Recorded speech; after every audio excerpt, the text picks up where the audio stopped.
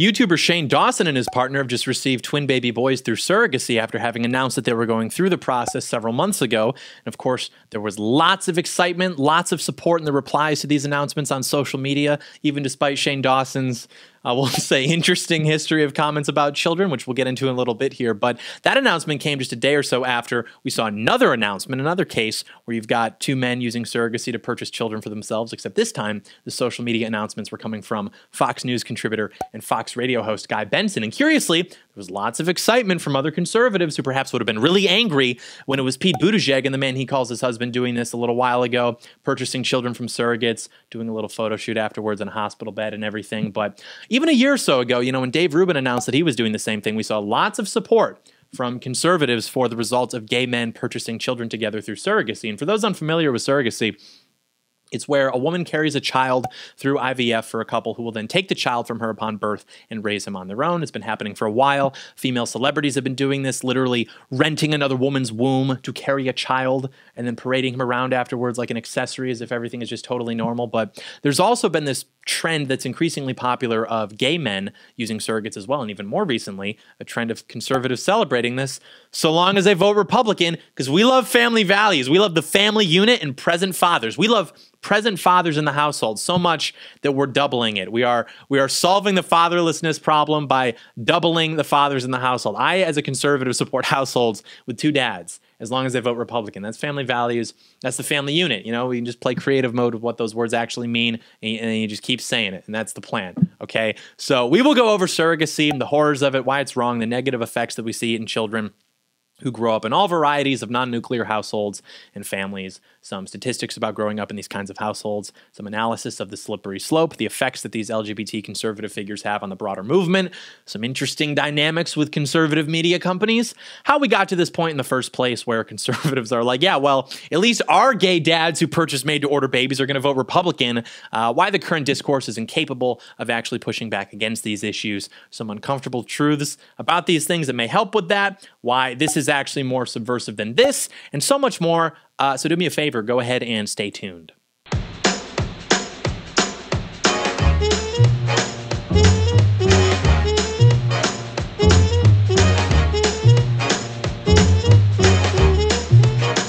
John Doyle in. There, ladies and gentlemen. Welcome to Heck Off Commie. Before we get started, I request the input of the audience.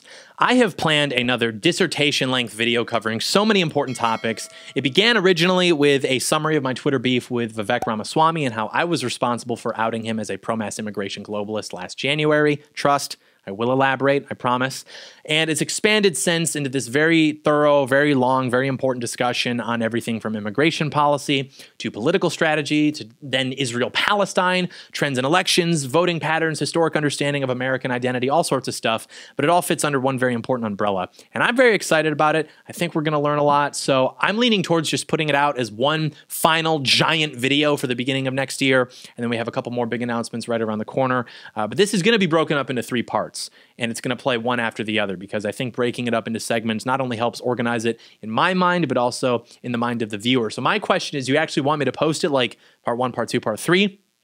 Or do you want another big video? Do you want me to just give you a giant video that happens to be broken up into three parts? I personally like putting out these giant videos. You know, one to start off the year, I think that's pretty cool, but I figure I would at least ask your opinion. But in the meantime, we've got a lot to discuss here today, and we'll be back again before the end of the year. My Christmas gift to you two videos in December. It's a Christmas miracle. I don't know what's going on. But, anyways, last thing, one of our guys in the HOC Discord put out a book recently. It's very well written, but the content itself is really what's important. It's titled uh, Muscular Christianity. It's a case for spiritual and physical fitness. Muscular Christianity, of course, being in reference to the Christian athletic movements from the 19th century in England and the United States.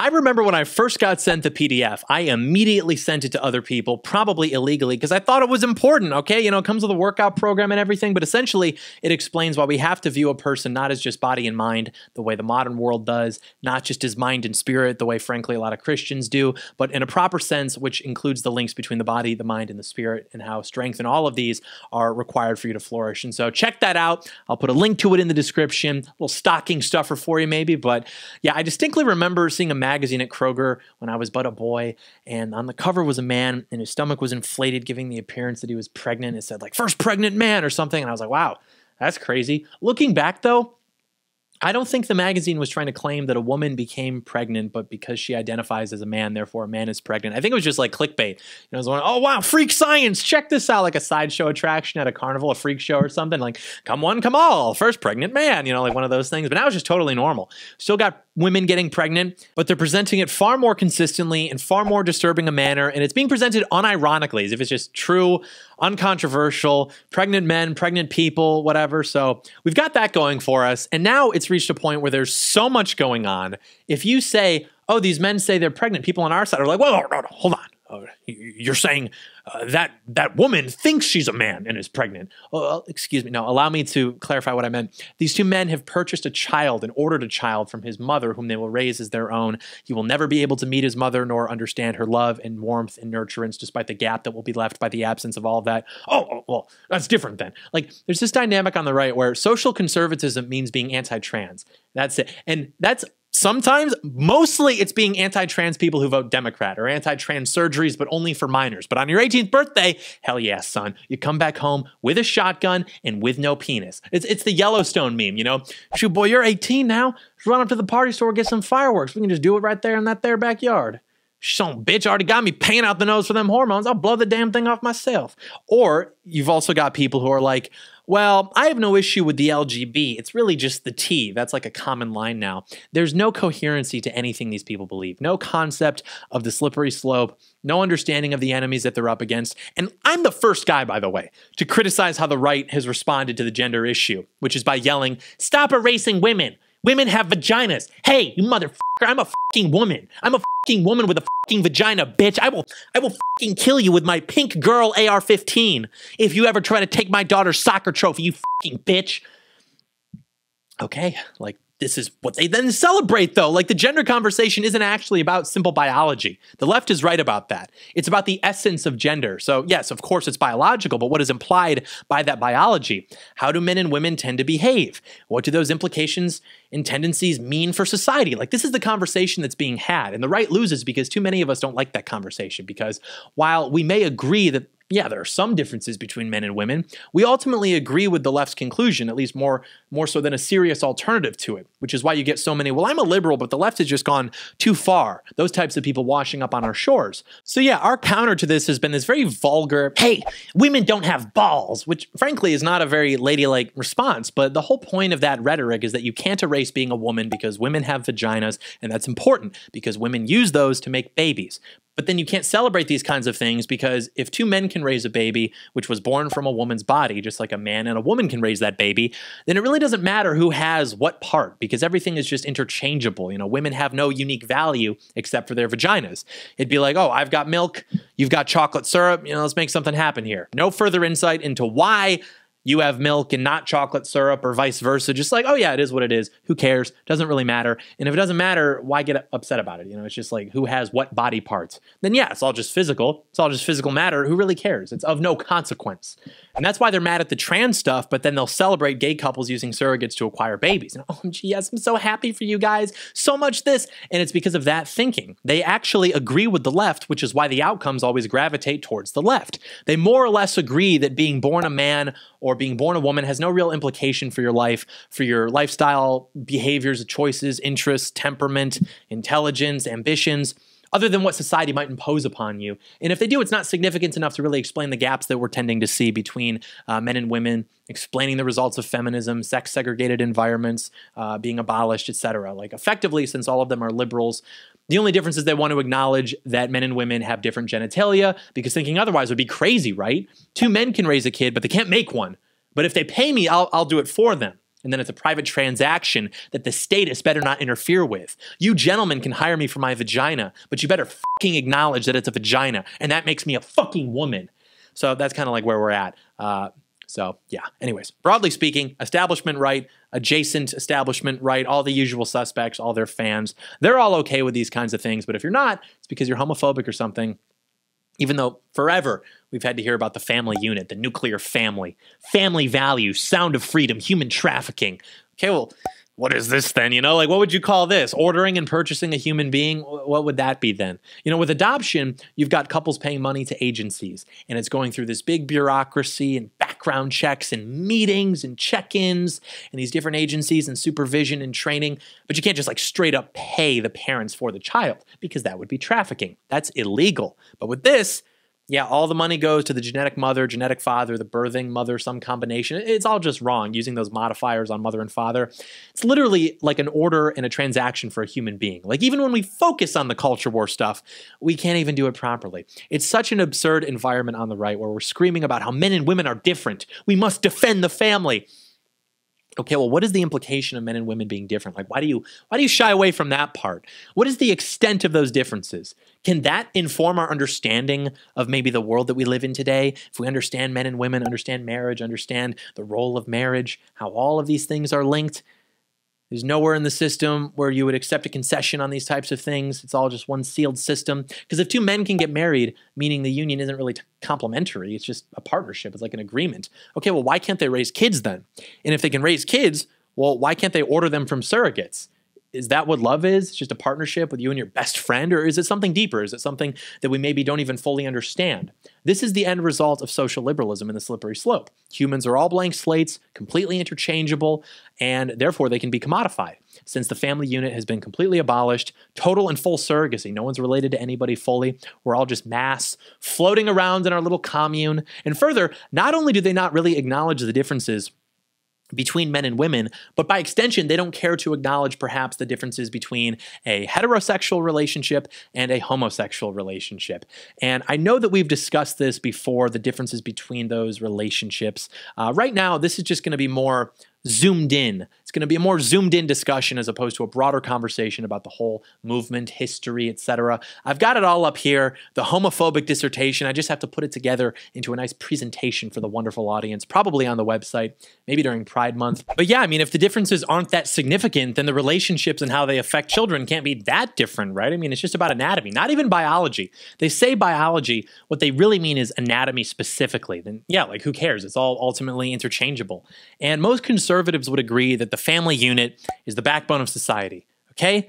That's pretty good. But if you're going to talk about family structure, then you actually have to talk about family structure. You know, we like to broadly measure that by like fathers present per capita or whatever, but this has been going on for a while. Obviously, divorce is totally normalized, getting remarried, sometimes even multiple times, having step parents, step siblings, all of these things are totally normalized now. And so it really shouldn't come as a surprise to us that what is actually defining a family is becoming more subjective and experimental.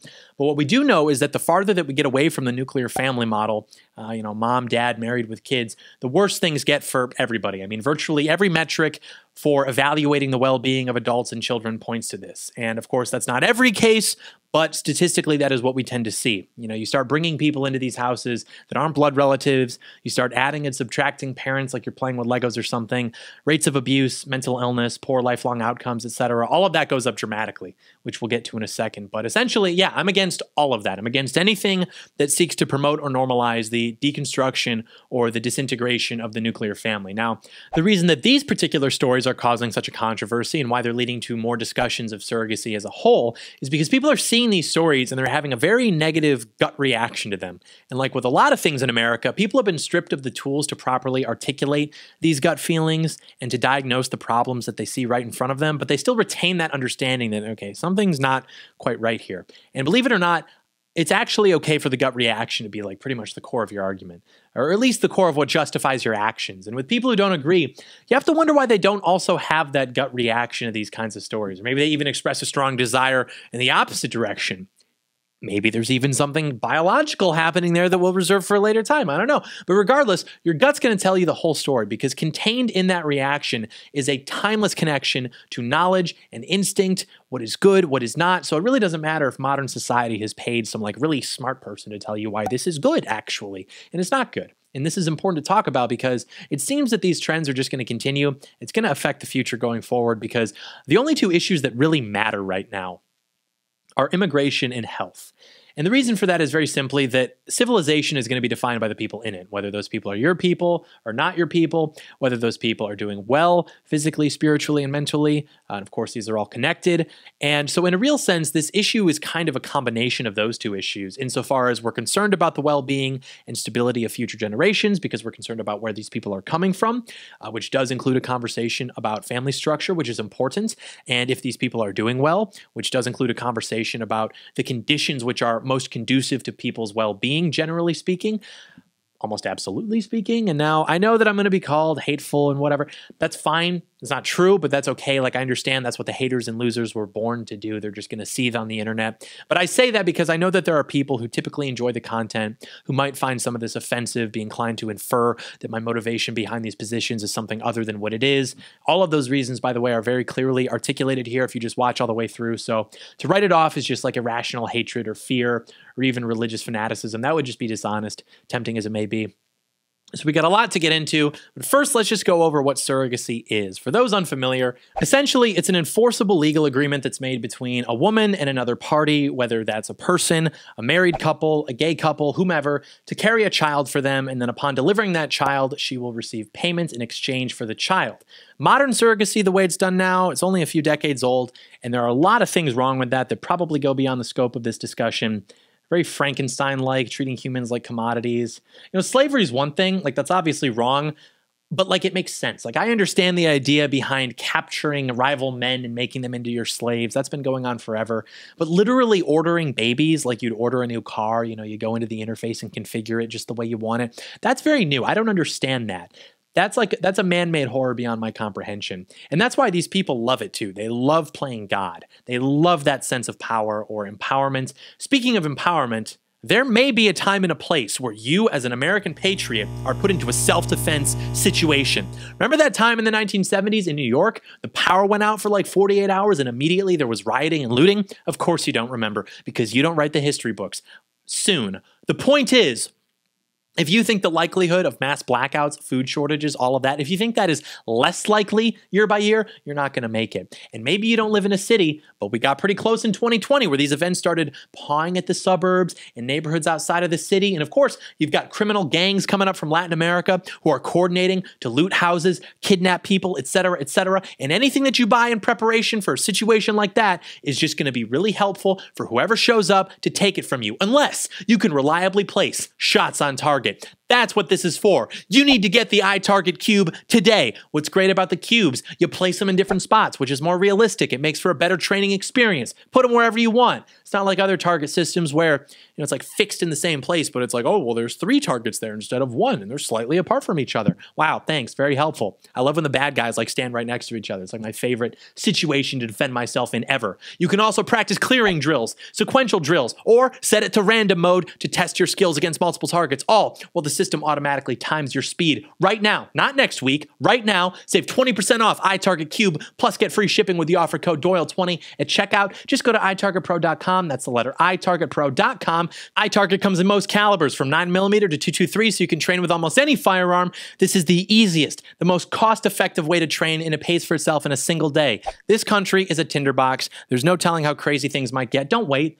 If you wait too long, these people are going to come, they're going to loot the package off your front porch, and they're going to emote on your corpse. So prepare with iTarget. That's the letter I, targetpro.com, itargetpro.com, offer code Doyle20. Very epic. We continue.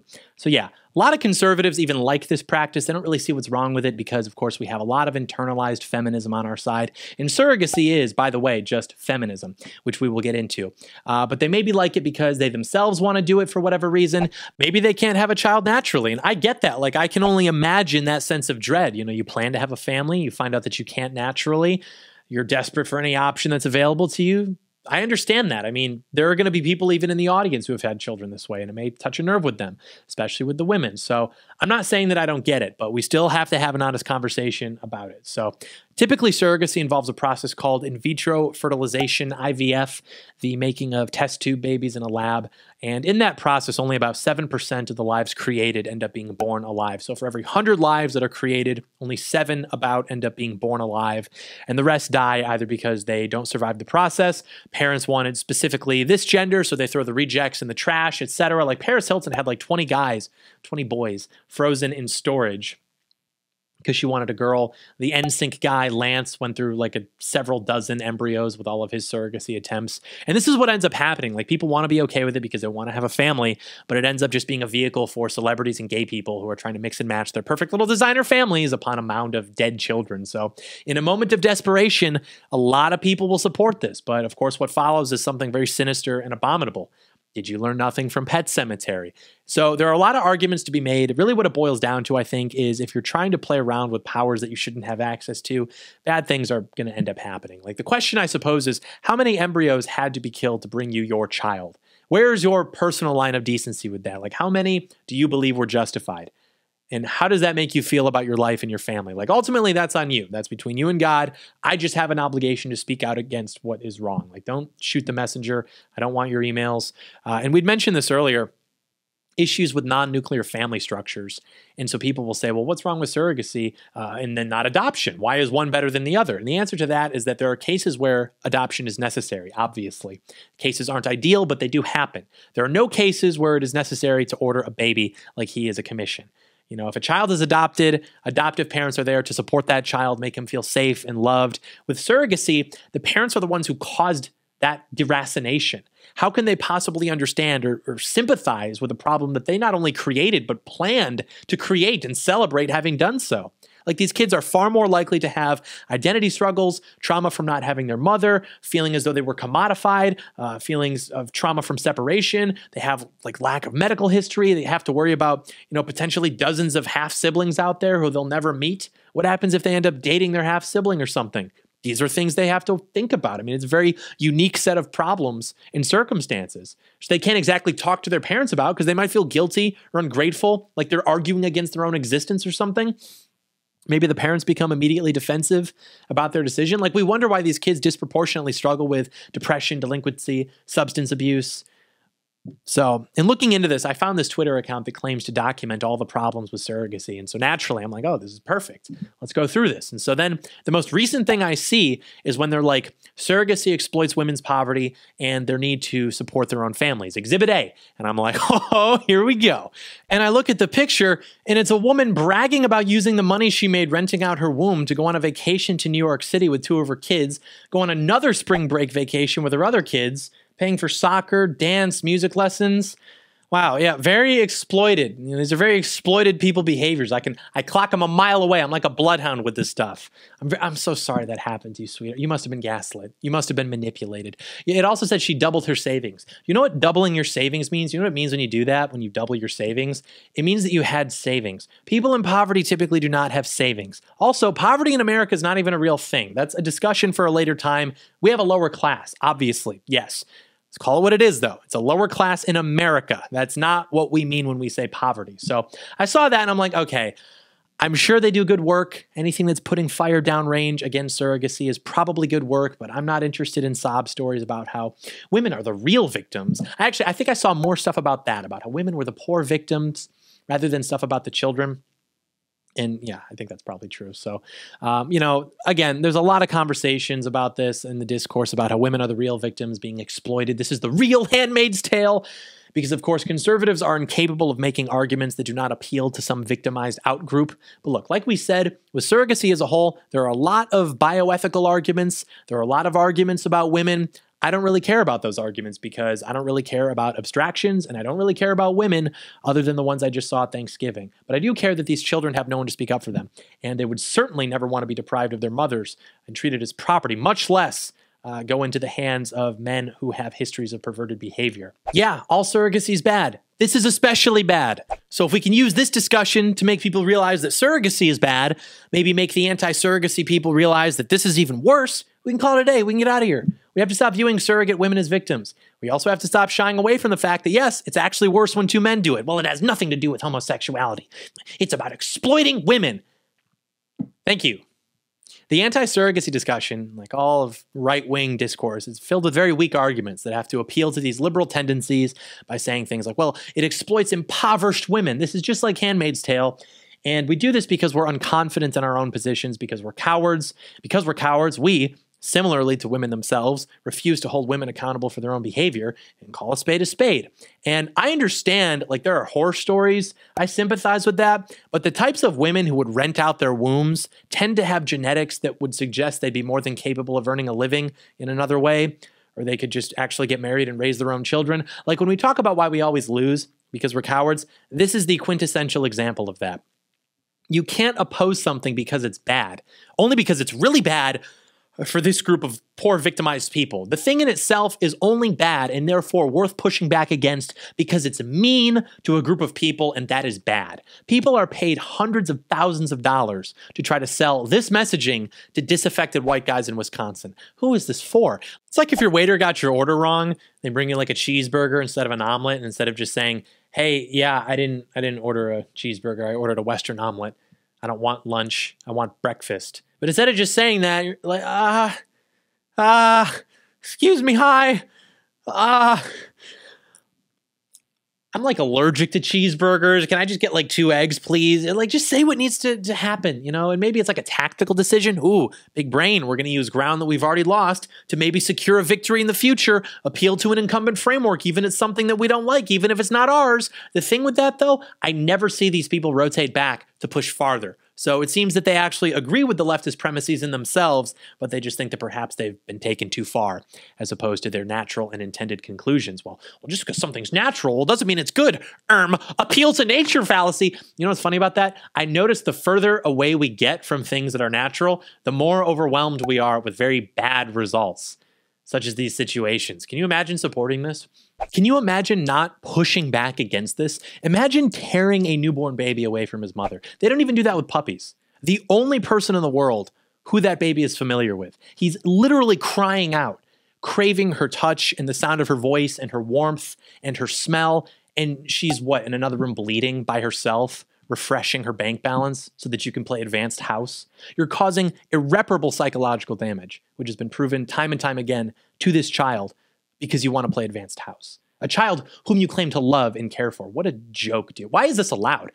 The way I see it and the way the founding fathers saw it is that our rights come from God. There's no right to a child.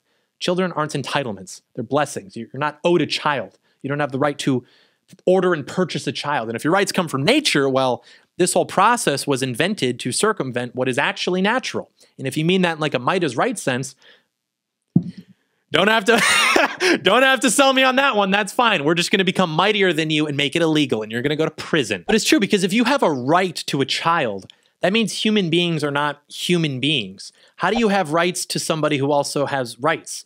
And I, I wouldn't go as far as to say it makes human beings property because, you know, they wouldn't support something like slavery unless it was us being enslaved. They really, I think, only care about their power and making their enemies miserable. Simple as that. Like that's how they view existence. Everything exists for their pleasure. Enemies are people who impede in any capacity their pleasure, even with virtue signaling. Like that's ultimately just using the alleged suffering of other groups of people to pleasure themselves by publicly expressing their altruism. It makes them feel good. Surrogacy in general is wrong and it's selfish. Infertility is not a death sentence. I mean, a lot of times, especially nowadays, it's related to your lifestyle with all the chemicals in our food, in our water, our clothing, etc. Hold on. Did I just say chemicals in the clothing? Okay, gamers.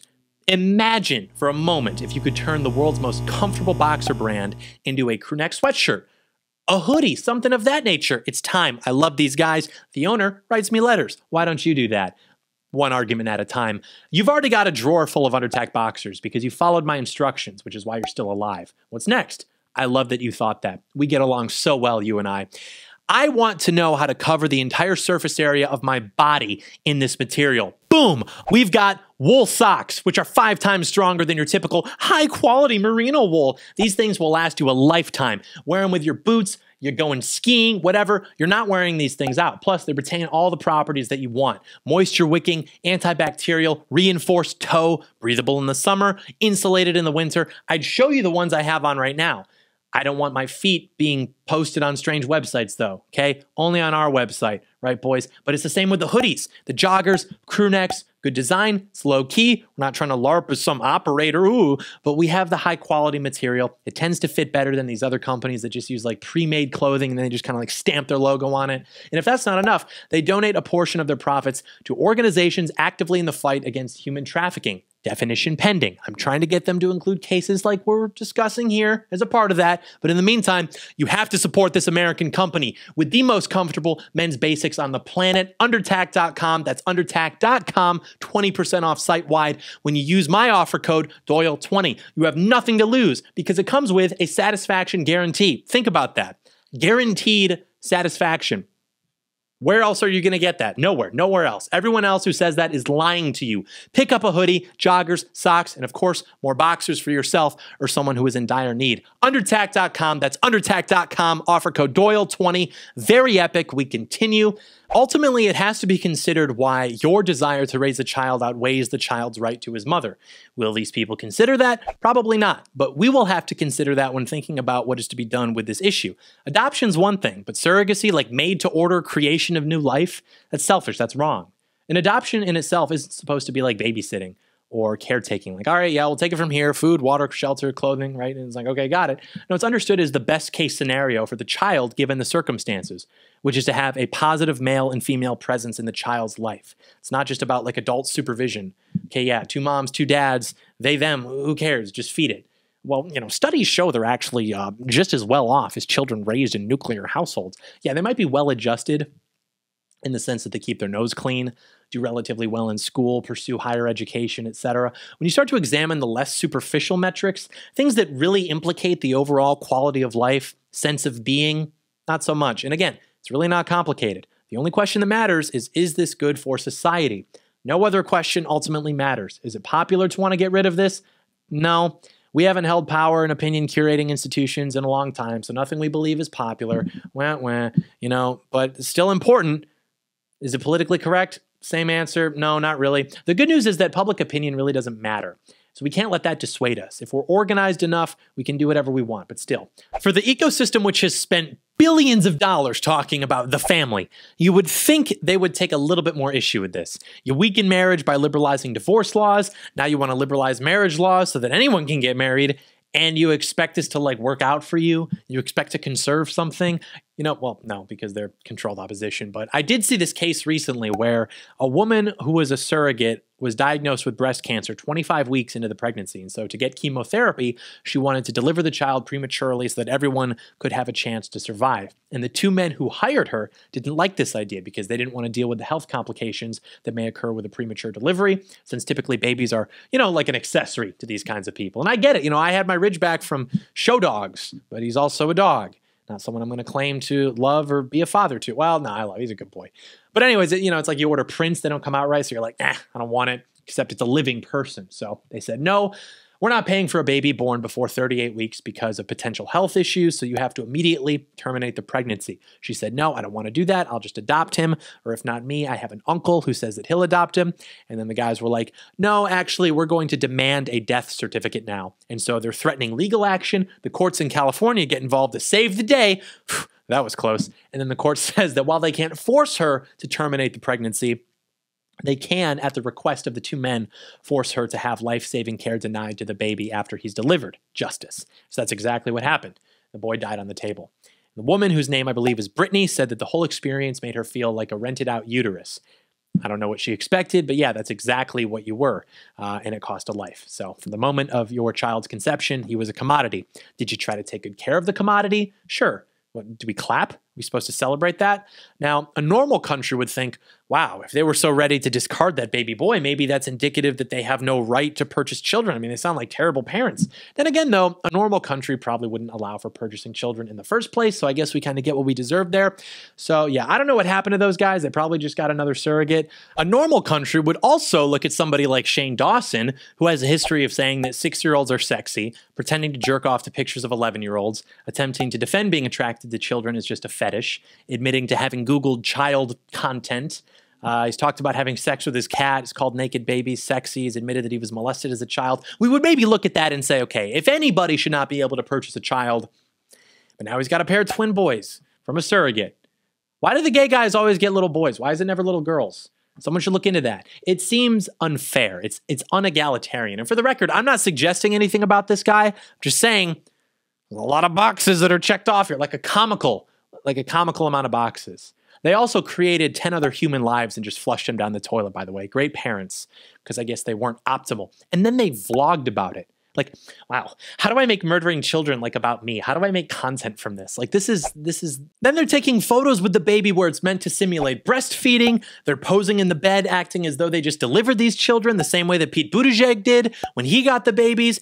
These are red flags. You'd think it should be more difficult to purchase a human child than a firearm in this country. I say some silly things on the internet. Now I have to wait three days or just get totally denied from purchasing a firearm. These guys say things like this, do things like this. and You just walk right through the door, do something which nobody ever would have thought would have been considered normal practice, let alone some kind of right or entitlement, which is purchasing human children to play advanced house. Human trafficking is perfectly legal as long as you're a homosexual and you live in a Western country. Like you look up the definition of human trafficking, it describes this, except it prefaces it with the unlawful act of blah, blah, blah. The only difference between the act and the unlawful act is those words. Like one is lawful, one is not. It's words on paper. Intrinsically, it's all the same. What is occurring is all the same. Now, if I were a robot, if I'm a pattern detecting entity, and I looked at this story with a guy who's got a history making comments like this in a type of relationship which has a disproportionate pattern with certain behaviors like this. I might reach some conclusions which aren't very nice. And then laying in the bed too, acting like he delivered the baby, it's such a crude mockery. You think that's a crude mockery? Wait till I tell you what they're trying to imply produced that baby. You ever see an exit only sign? Probably there for a pretty good reason, right? Well, some people like to ignore very obvious rules, usually because they didn't have good parents. But the reason that they do those photo shoots is because they get off to it. They enjoy subverting and mocking what is natural. They think it's naughty. They like the pride. They enjoy the mockery of it. And the children validate the relationship. If they wanted to be parents, then they could just go and be parents. But the baby acts as an accessory to what they actually want, their true priority, which is to identify and behave in the ways that they do. So that's why they have to do the whole wholesome chungus gay couple in a bed LARP People have fetishes for pretending to be animals. You think they wouldn't have a fetish for subverting the institution of marriage? Of course they do. Imagine taking any of these people at their word. Why would you trust that? Why would you trust, well, they'll take it this far, but then they'll stop. They won't take it any further. We just want to step up and look after these poor foster kids, give them a home. Oh, okay, sounds fair enough to me. Look at where that's trending now. And they, they even get preference actually when adopting because technically speaking, they're infertile. And then that is trending towards gay guys suing to have their surrogates covered by the American taxpayer since technically speaking, they're infertile. And so to not give them that would be discrimination since infertility is defined as unprotected sex for 12 months uh, with no conception. And yeah, no one wants to have an, a couple uncomfortable conversations. I truly struggle to think of something more disgustingly selfish than this. And I hate that word in politics. Oh, it's disgusting. It's very feminine.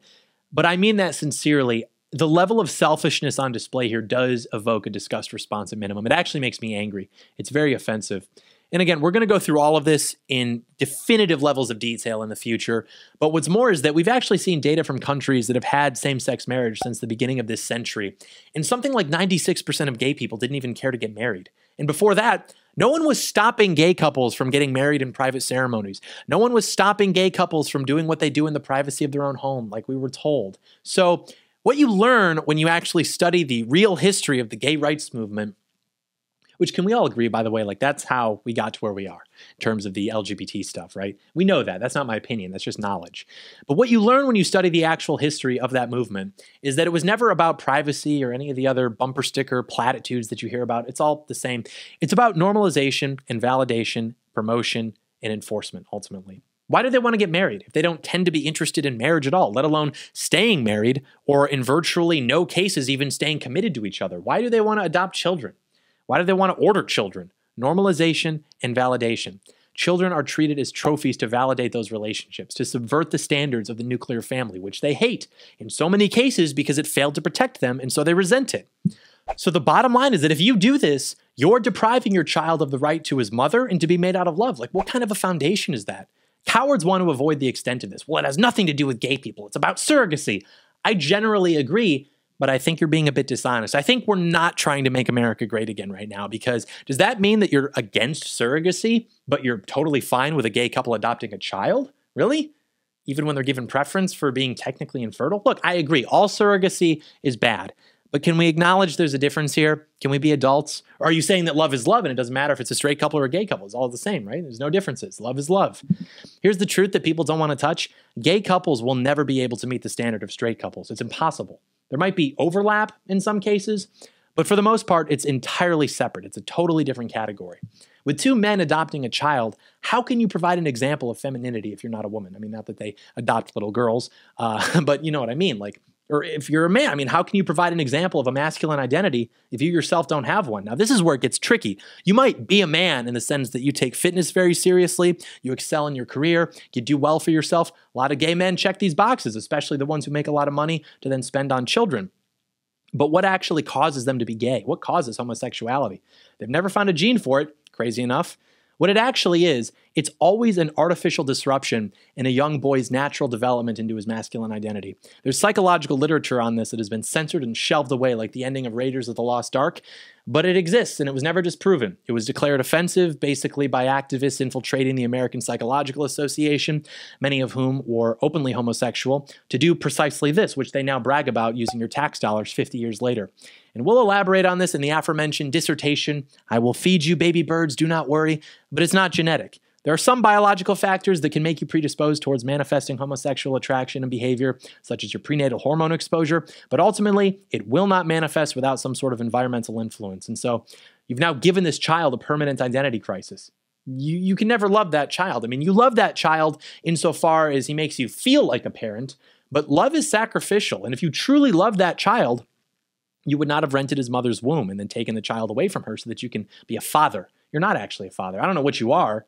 I don't know that I care enough to figure it out, but I know you're not a father. You should have sacrificed your desire for the child, but it was the other way around. So you're not a father. And I know that you know that because a father's first and deepest instinct is to protect his kids and to facilitate their well being. And from the moment of that child's conception, you not only ignored that, you did the exact opposite, all in service of yourself. This child was not conceived out of love, let alone marriage or something natural. You commissioned his conception out of selfishness and perversion. Literally, from the moment the life was created, it was never about the well being of the child, only about your desires, which apparently are worth the price of depriving that child of a mother's love and warmth. You commissioned a life for the purpose of robbing him of that. That's the first thing to happen to this child. It was your plan for that to happen. Well, how is this even different from biological parents? I mean, it's all you know it. Stop being a materialist, stop being a dork. You know, this is spiritual. This transcends our comprehension of existence. Every child has a right to their mother and to their father, but especially to their mother. Dads have been ditching kids since the beginning of time. I'm not saying that's right. I'm just saying the idea of a child being sold to two men and being deprived of his mother, maybe his mother volunteered to sell him, like that is yet again a whole new level of man made horror beyond my comprehension. We've got this weird belief that we're like entitled to live any life we want to live by simulation. I'm entitled to have blonde hair, so I dye it. I'm entitled to have big boobs, so I get plastic surgery. But if you can't become a parent naturally, then the question becomes are you equally likely as, say, a typical couple to parent this child successfully? If not, are you more likely to do it competently or incompetently? What if your likelihood to manifest problematic behaviors is significantly greater? Ignoring even that, what if there's virtually no chance that your child will develop normally and will always be longing to have his mother and his father present? Children who grow up in these households have a 25% chance of being at some point forced to have sex against their will, a 25% chance of contracting an STI, which matches suspiciously well with the previous figure. There's a 29% chance that they'll end up identifying as LGBT, 24% chance that they'll be suicidal. They're significantly more likely to experience depression and trouble with future relationships. And again, this is obviously true. And you see similar, though less significant trends with step parents, adopted parents. The further you get away from the nuclear family, the more problems arise, obviously. And we've discussed before the problem problems with what is referred to as gay marriage. Not even like the arguments against it, but I mean like the dynamics of these relationships, the rates of being open relationships, the number of sex partners on average, the length of time that these things even last on average. If the average American, here's what I'll say if the average American knew what goes on, they would be like, what the heck? Wait a minute, buddy. Hold on. What? That's why they had to make their slogan literally equality, saying love is love. We're just kind of silly. It's equal. It's the same. Just a little bit silly. That's why the well put together couples are actually more subversive. The ones who present themselves well, the quiet gay couple in the Vineyard Vines pullover, they're just so nice. They're just they're just a little bit silly. People's entire perception is informed by what they see on television. The image of the well put together gay couple, it's actually more subversive than the outright degenerate gay people because it convinces normal people oh, you know, I guess it is pretty much the same. Accepting these things, getting to where we are now, that didn't happen because of pride parades. It happened because of the media pushing the image of the clean cut gay guy. Now people think there's no overlap, and then they get confused when they see people getting canceled for saying, well, hey, we probably shouldn't have furry BDSM demonstrations at family friendly pride events. And they wrote about this too in their activist manifestos how they could take advantage of the straight male tendency to want to protect, the straight female tendency to want to empathize with, and use it to forward their agenda, which in conclusion means that if you disagree with anything that I've said, it's because you've fallen victim to gay propaganda. But it's true. I mean, according to, what is it, the American College of Pediatricians, homosexual couples provide a far less stable and safe environment for children. They've noted that the violence among homosexual partners is two to three times more common than among married heterosexual couples, and homosexual partnerships are significantly more prone to disillusion than heterosexual marriages, with the average homosexual partnership only lasting something like two to three years. They're also far more likely than heterosexuals to experience mental illness, substance abuse, suicidal tendencies, shortened lifespans, uh, and basically they've concluded that given the current body of research, it's inappropriate and potentially hazardous to children and dangerously irresponsible to change the age old prohibition on homosexual parenting, whether by adoption, foster care, reproductive manipulation, uh, and this position is rooted in the best available science. Does that sound like a good environment for children? So we have to protect the needs of children over the desires of adults, in conclusion, uh, let alone adults who have no business raising a child. Well, how can you be pro life and anti surrogacy? Well, it's not about you, it's, it's about giving life to the babies. Yeah, I'm pro life because pro life is just good marketing for not wanting babies to die. It does not literally mean I just want there to be infinite people in the world, and much less to have them made to order and stripped away from their birthright. The issue of surrogacy has little to do with life, actually. It's counterintuitive, but you think that, and then you go, okay, well, how can the left support abortion, which is about killing babies, and then also support surrogacy, which is about creating babies? It doesn't really make sense. And yeah, I mean, ignoring how many typically die in the process of surrogacy, like we mentioned earlier, what matters to them isn't so much life, it's being able to do whatever they want. It's playing God, it's total feminist domination. And frankly, there's a lot of really stupid sentiment on the right that's just completely separated from reality. And the worst part of it is that included in the tenets of it are that if you don't agree, you're the brainwashed one. You're paid off by the World Economic Forum. And a lot of it is just this really low IQ conspiracy theory stuff about the globalists being anti human. Because if it's an anti human thing, then we can all team up and unite against them. No exclusion necessary, so long as you're not evil. If you're a human, you can be on the team as well. If it's an anti-human thing, then it's evil and satanic, and we have to unite together. You know, like like in a movie. I don't think it's an anti-human thing. It's more that they're anti-nature, even post-human.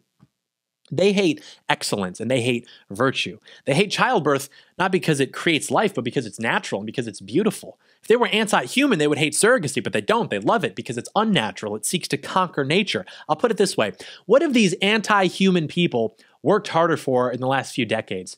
Preventing nice, wholesome, quiet communities from forming or preventing crowded slums from forming? If I were anti human, I would probably crack down on the one with the most people. But maybe it's not about people. It's almost an egalitarian word, isn't it? Right? People. It puts us all equal, right? When I say I'm pro human, I mean that to say I am in favor of human flourishing and beauty and excellence and accomplishment. If they're anti human, it's because they are opposed to that. But if it were just defined as like literally millions of blob people just all existing somewhere, some ugly, disgusting communist city, some 15 minute city or whatever, they would love that. They would get off to that. Or they'll say, well, they're not only anti human, they're eugenicists. What anti human eugenicists Eugenics, I don't know anything about that. What do I look like to you? Some ancient Greek philosopher? Look, we should be careful with that word, eugenics. But you know what the other side of that coin is that we should really pay some more attention to since it's just running buck wild right now? Dysgenics artificially subsidizing people who otherwise would not have lots of children into having lots of children, transferring wealth away from the productive and generally polite and law abiding members of society to people who are the complete opposite of that, so that they can have seven or eight kids. What do you think the ripple effect of that is going to look like? When you've got a society that is structured to disincentivize, to make low status, to make unattractive starting families and having children, but only to a certain part of the population. To the rest, well, we're actually going to take money from those people. We're going to give it to you guys to breed like rabbits. And we've got open borders so we can do the same for illegal aliens. What happens in that scenario? Fast forward 20 years. What does that country look like? We shouldn't artificially control for characteristics in people. Hey, I'm not saying that we should, but we are. Literally, as a matter of policy, we are, just in the opposite direction. It is evolving, but backwards. So somebody's doing it. It's not like neutral, it's just going in the opposite direction from what you think. Maybe we should start talking about that. You want to know why people aren't having kids? Because anytime you go somewhere in public, it's like you can't even recognize it. You go to the airport, you go to a shopping mall, you go to an amusement park, you go downtown to have dinner, watch a show, any place in the country where people are gathered, there are too many people and it sucks. It throws off the vibe. Why aren't people having kids? Yeah, the economy's bad. People have always had families, though, throughout history, even throughout circumstances that are far worse than what we have now, unbelievably worse than what we have now. Okay, uh, I've got one. What are the fertility rates looking like for people living under occupation? Are they rushing to have children? Are they rushing to start families? What's the line? Noble creatures refuse to breed in captivity? Maybe there's something to be said about that. Is that the whole problem? No, wouldn't claim that it is. But it's certainly something something that's being omitted from the current discourse surrounding the issue? And do I even trust that people will realize this consciously? Maybe, but like we said, the tools to articulate the feelings surrounding what they're experiencing in this country have, for the most part, been stripped away from them. So instead, they might say, well, it's because of the economy. Well, I'm just not ready, whatever reason. But those experiences do have effects on people. There's no way that they don't.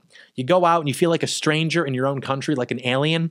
That doesn't exactly make you excited to make moves that would dig your roots deeper into conquered territory.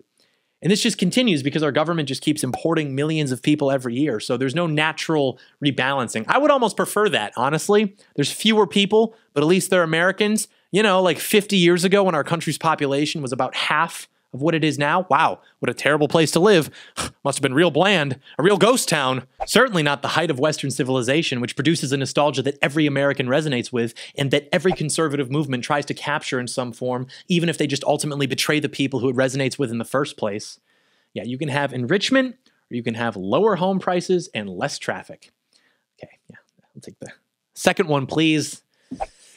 But what solutions are we offered, even from the based and trad right? I'm seeing a lot of 32 year old women telling the boys that they just need to man up and put a baby in me. I know I went through a phase, okay? I just, I didn't know any better. I was taken advantage of by degenerate men. But now I'm, I'm, I'm saved by the grace of Christ and I'm ready to settle down with a good man who doesn't smoke or drink or play video games or gamble. That all, by the way, just means you can't hang out with your friends. I don't know if you've learned that lesson yet, but that's what that means. You get to stay at home with her and cuddle. And he wants to marry me wow, that sounds really great. I'm really, I'm so happy for you. God bless you. And then you just slowly back away. It's like you're spelunking, you find an old stick of dynamite or something, you just slowly back away. It's going to take a little bit more than that. The answer to restoring families is not just telling people to pull themselves up by their bootstraps. You have to understand the psychology of the average person. That's what we're working with, that's what we're looking to correct. And we have to be very specific with what the word family means because otherwise you've got guys working for conservative media outlets talking about my personal news. Bro, that is not your child. Hell yeah, brother. That's pro humanity. Two strong conservative fathers in a conservative household that will vote Republican. You know, there have been several cases of these people now working for conservative media companies, right wing media companies, organizations, whatever. And then there's God knows how many of these stories happening behind the scenes because these companies employ lots of these types of people who aren't necessarily public figures. They just work behind the scenes in different capacities. Uh, so I just want to spell out very clearly what that means and why this is so sinister. When this happens, you, as a right wing media company, are facilitating a transfer of dollars from your audience, who is ostensibly well meaning, Christian, patriotic audience. You're facilitating a transfer of dollars from their pockets into the pockets of men who purchase children. That's what that is. That's what's actually taking place. The money that they spend in purchasing those children and taking them away from their mothers, those dollars were earned by hardworking, normal, likely Christian American families.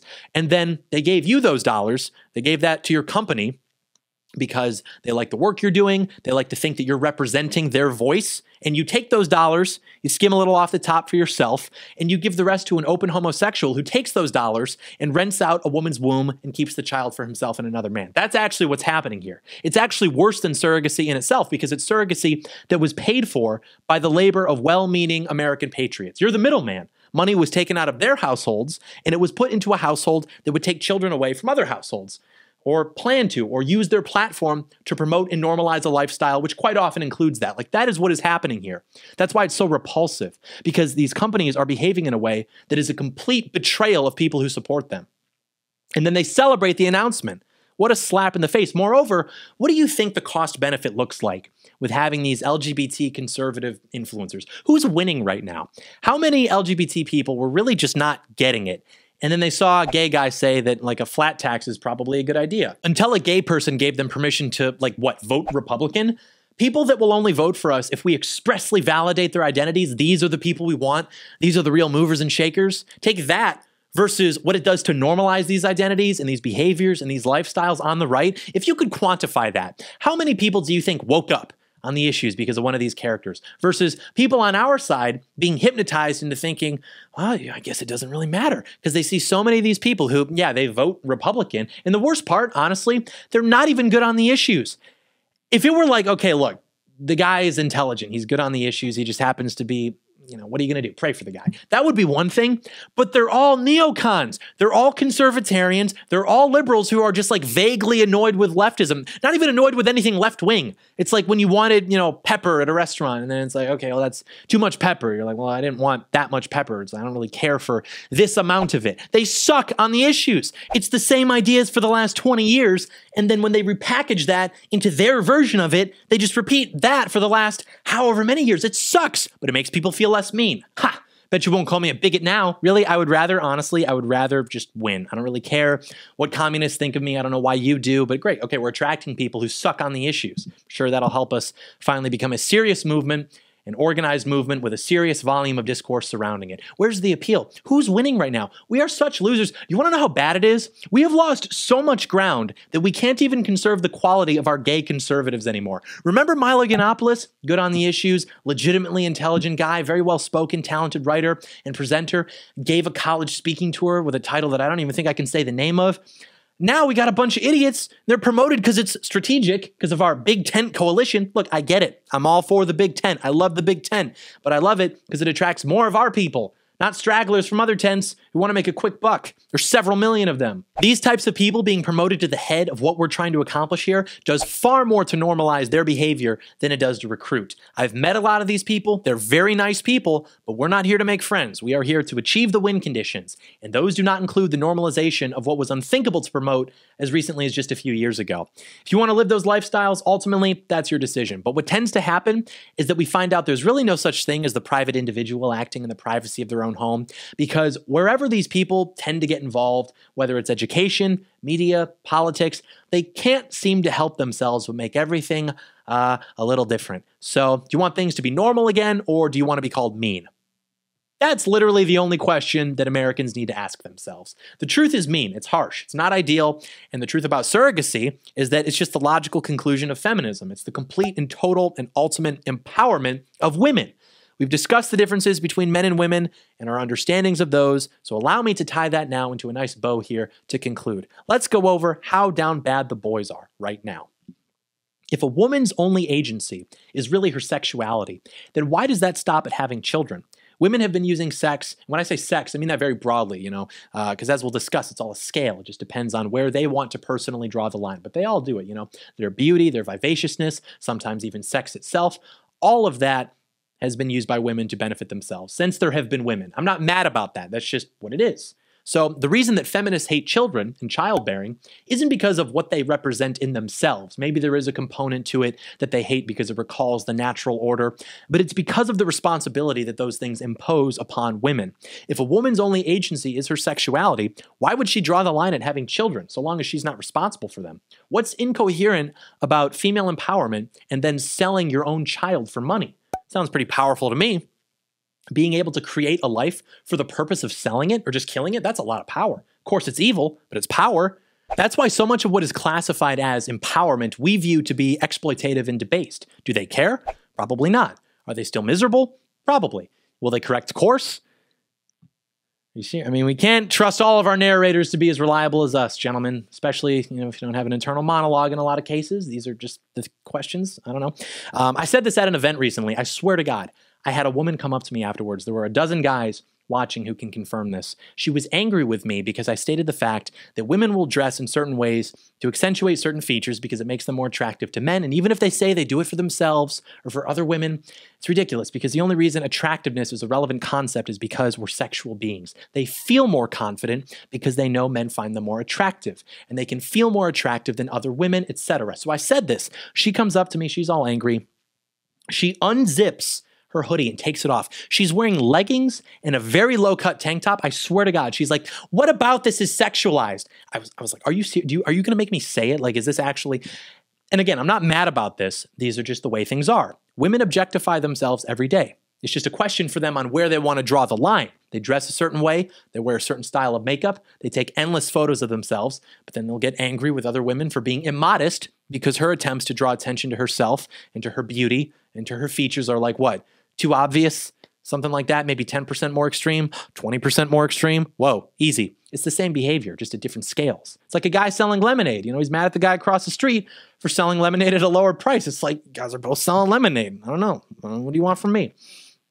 So I'm just being honest here. And again, you can can't you can't really get mad, you know? It's like this is just women, all right? If you're getting mad at them, you've already lost. It's a skill issue. Well, no, John, you don't get it. These poor women, they've been brainwashed into thinking this is good for them.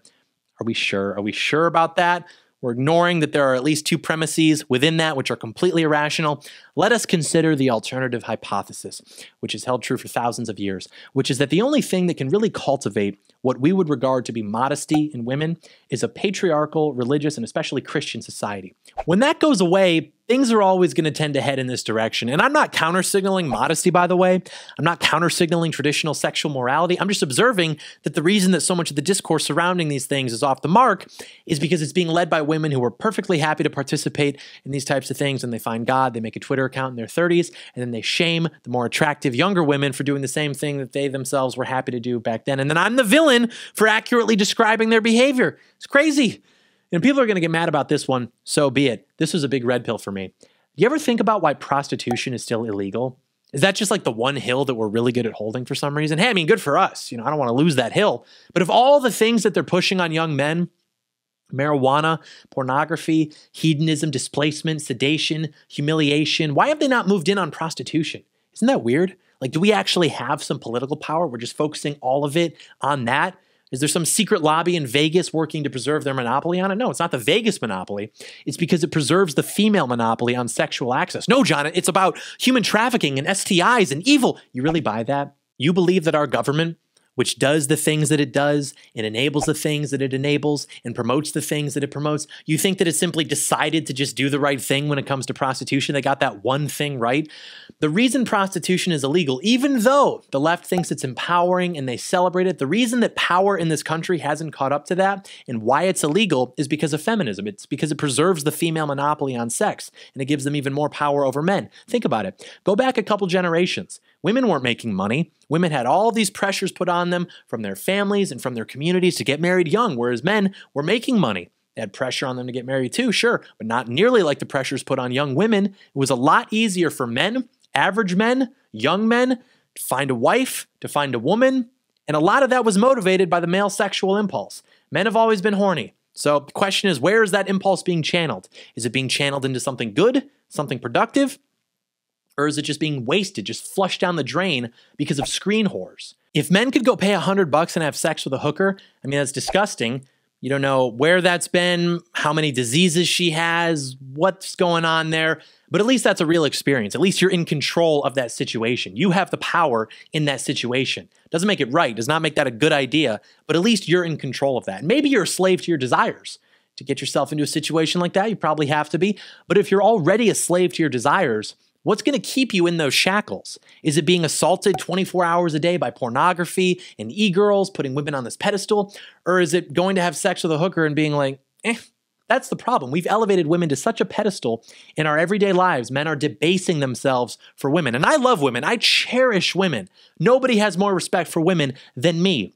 But in order to create a society that we want to live in, something approximating what we used to have in this country, men have to realize themselves. And they will never do that if they're being tugged along on a leash all day because of women. Because what do men do now for women? They debase themselves. They adopt viewpoints that aren't even theirs. They allow women to do whatever they want, to speak to them however they will. They're completely whipped, completely domesticated. They don't see their friends. They give up on their dreams, on their mission. Do you understand how many men adjust their everyday existence based upon access to women? It's weak behavior, and it's maintained by the female monopoly on sexual access. That keeps men domesticated and docile which is why our society has degraded into what it has because women have all the power. That doesn't mean they'll be happy, doesn't mean they'll even use it properly or understand that they have it, but they have it. And if men could just go pay 100 bucks and get a hooker, that psychology would change. And I'm not saying any of this is good, by the way, but the male sexual impulse is real. It's going to go somewhere. And there's a reason that they're distracting you with a constant assault of screen whores, making consent contracts, putting you on dating apps where you have to beg for a message back. It's created a society of good little boys. Good little boys are boys who give their balls to women. And I'm not making an argument in favor of this. I'm simply telling you why it makes perfect sense that with all of the evil things that exist in our society, this is the one thing that's not being promoted. It would be confusing to me if I didn't understand this because I would think, wait a minute, why are they promoting all of this sexual degeneracy, but they're still arresting people for prostitution? That's so weird. It's not weird. What is more empowering for women than getting paid to have sex with you? Getting paid not even to have sex with you, but for you to like what, jerk off to them by yourself in your room. It's weak behavior. And don't worry, I'm consistent across the board as well. When me and my cool friends take power, we're going to arrest these people too. But it will be because we're restoring a male dominated society instead of a female dominated one. Female dominated societies will put pornography on every screen and magazine in the country, but will arrest you and have you fined and fired for making the wrong comment about it. Stop objectifying us.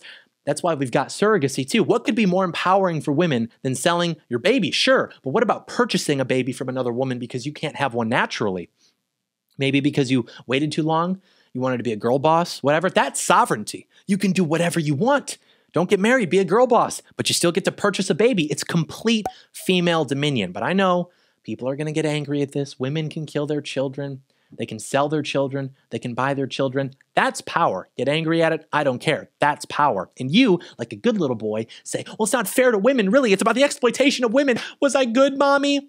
Because the conservative movement in this country is run by women, homosexuals, and worst of all, perhaps, men who are controlled by women, by their wives, whatever. So I can say this while loving and respecting women, which I do, because I understand that it is the responsibility of men to build and maintain and restore society. But in order for us to do that, we have to behave like men, be masculine. And if what is most masculine, by definition, is what is least feminine, then we have to abandon political correctness and speak about things honestly without having to be held hostage by the emotions of people who may not like our tone, which is what I have just done.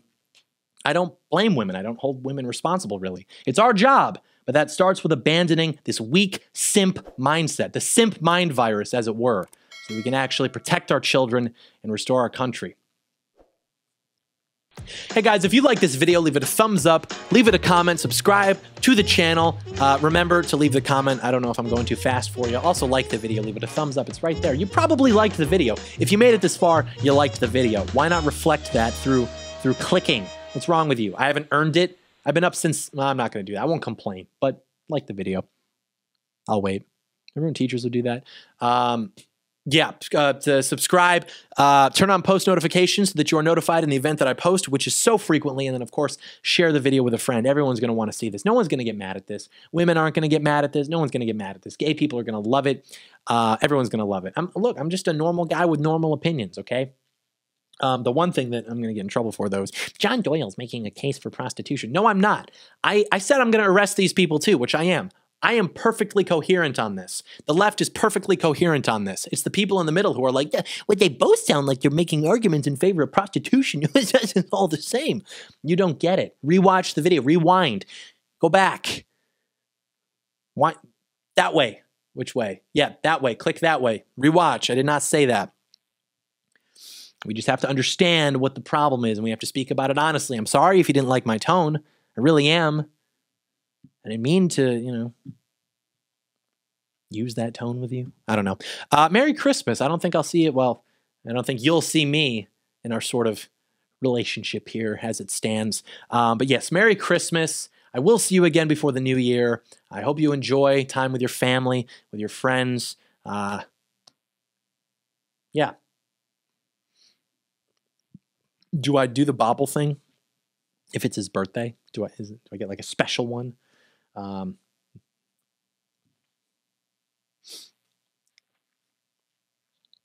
I gotta cut these outros.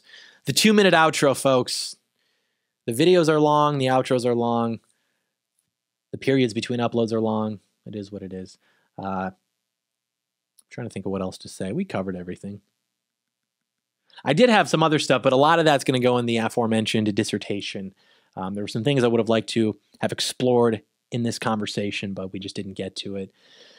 Um, so yeah, we will do that. We will do that. Okay. Anyways, thank you so much for watching. May God bless America. Have a very Merry Christmas. God bless you. God bless your family. We'll see you soon. Thank you. Good night.